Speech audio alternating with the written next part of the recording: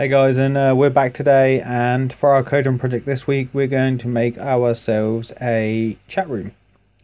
So this is going to be our chat room client, and I'm hoping to take this over possibly three episodes. Where this episode we're going to do the client, the next episode we're going to do the server, and then the next episode we're going to do securing the communication between them all. So stay tuned for that. Right, so we're going to start with our, our client. So you're going to need a memo. Um, I've just basically started a uh, an application, and you just want to drag it out. Um, we're going to need a menu. This is something we don't I, I don't often use um, because we're going to need a few features. So we're going to put file in the corner. The next one down, we're going to put a dash and we're going to leave empty. The next one down we're going to put connect. The next one down we're going to put a dash and the last one we're going to have exit. Um, and then we also need a disconnect. And so if you drag the disconnect up it will sit there. Um, and then we're going to have an about which I'll fill in after I've finished this.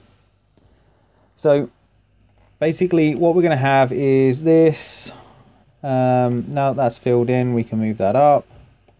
Um, you want to leave enough space so we can get a label in there. And then we want to have an edit down here. Um, so we can type things in. Like so. And then you're going to want a button in the corner. I'm sorry guys, I'm kind of rushing this because uh, I'm trying to keep these tutorials to 10 minutes. So we're going to have our button in the corner. Um, yeah. Uh, we want a label, don't we? So stick our label here. This is going to be chat room state. Uh, chat room, we're just going to do that. And then we need another label, which is going to tell us whether we are connected or not. So by default, we're going to disconnected. And we also need a TCP socket. Um, so we want the client because we're in the client today. Right, now we need to rename everything. So this has to become um, connection status. Um, label. This is going to become, uh, we're going to leave that as one. We don't need to name the name. This needs to be named here. And we're going to build message, edit. And this one is going to be our send button. So we want to remove the btn on the end and save it.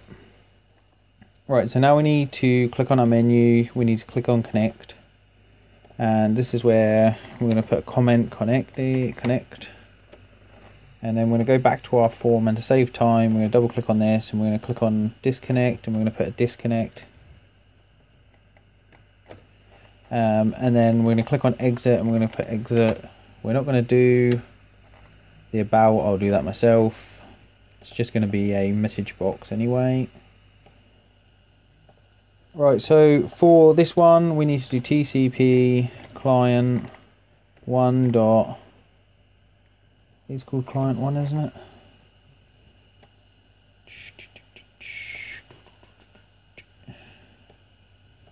ID TCP. So that's my mistake. TCP one dot disconnect happy days. Now here, what we want to do is we need, um, that's actually a point, we need another message box. We need another ed an edit box. Um, so what we're going to do is we're going to stick that here, if we can get it in between the two without it looking too bad. So nifty trick for you guys, if you hold the control button, uh, you can edit uh, the position of an object uh, without locking it to the grid markers. So this is going to become our host and this is going to become our host name edit. Like so.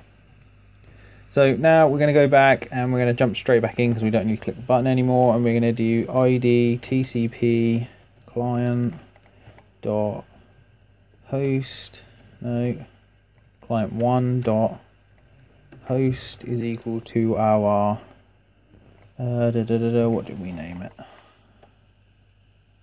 Host name edit dot text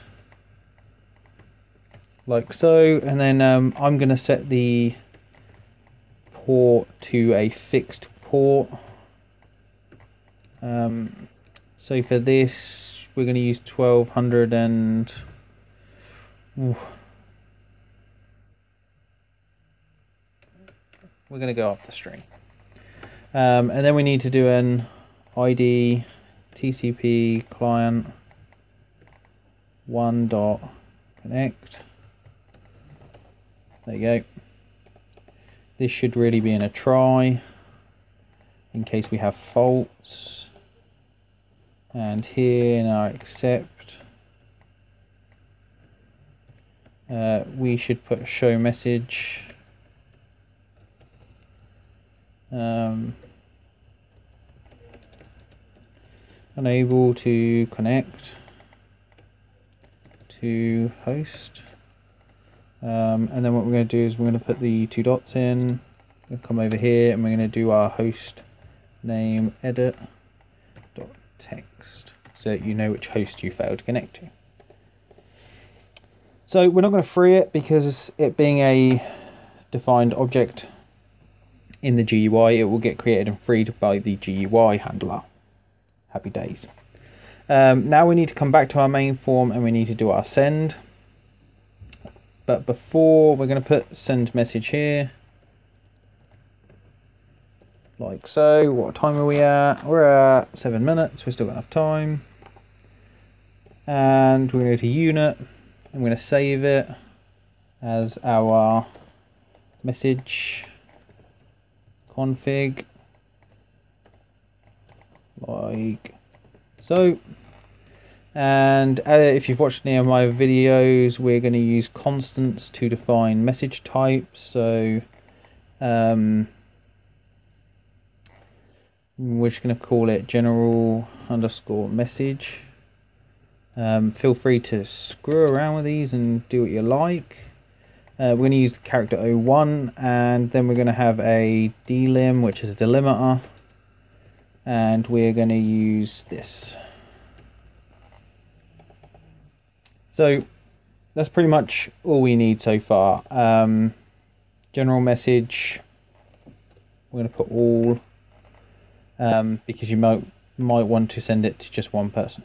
Um, but you will deal with that later. So we need our general message. So we need to come here and we need to do ID. We need to do an if ID TCP client one dot connected, which is our boolean. This will tell us if we're connected or not. We want to begin. And what we want to do is our id tcp client one dot okay I spelled that wrong. Dot socket dot write we're going to use write line. And we're going to do our general message plus the delim plus the current contents of our message. So we named it message edit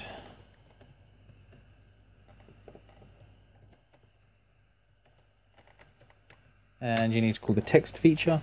Now don't worry about these, these, um, they, they're not too bad.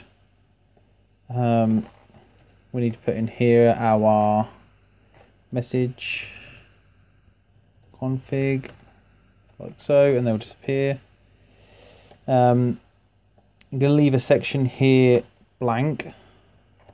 Oh no we're not, we're just going to do it. Um, So here we need to do if id tcp client one dot connected. Um, then we need to begin. And here's where we're going to do our read. So we're going to hold a variable. We're going to hold a variable called last message. Which is a string. Oh, actually, no, we're not. We're going to hold a variable called message uh, called i. And what we're going to do is when we create this, we're going to set i to 0 like so. And then we're going to do a while connected, uh, while id. Actually, no, we're going to get rid of that. And we're just going to do a while. So we put a begin in again, and it will get rid of that error. To take this back to there take that back to there. So ID TCP client one dot um, connected, which is there, do, so it will do a loop. And what we want to do is we need to check if there's any incoming messages. So we're going to do ID TCP client one dot socket dot read line.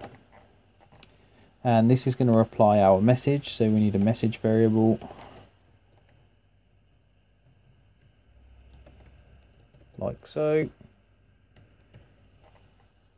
And so we do here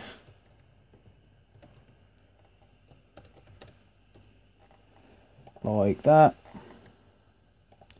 And then we're not actually going to need i so if message string is anything other than empty memo one dot lines dot add message string uh, we're going to close that off and then we're going to set our message string to blank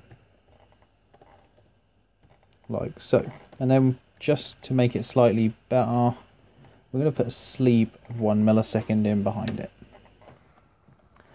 And that pretty much does it for this episode. I've gone over the time, but I wanted to get the client done in one go. So this is our simple setup. I will try it before I release the server and if there's any modification required um, when I release the client and the server in the server video, which is coming up next Thursday. Um, that will be the it will be the 3rd of May. I will modify it. So, guys, I hope you've enjoyed this. Um, until next time.